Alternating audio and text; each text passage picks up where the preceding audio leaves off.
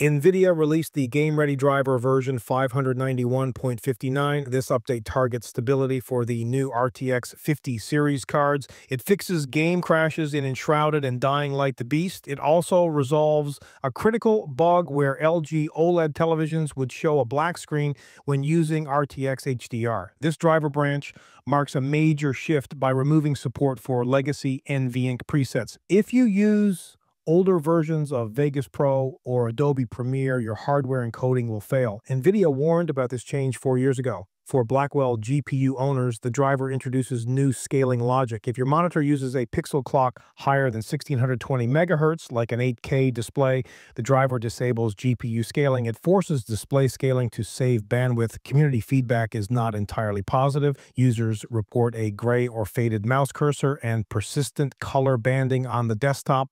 Some 50 series owners see horizontal lines when using display stream compression.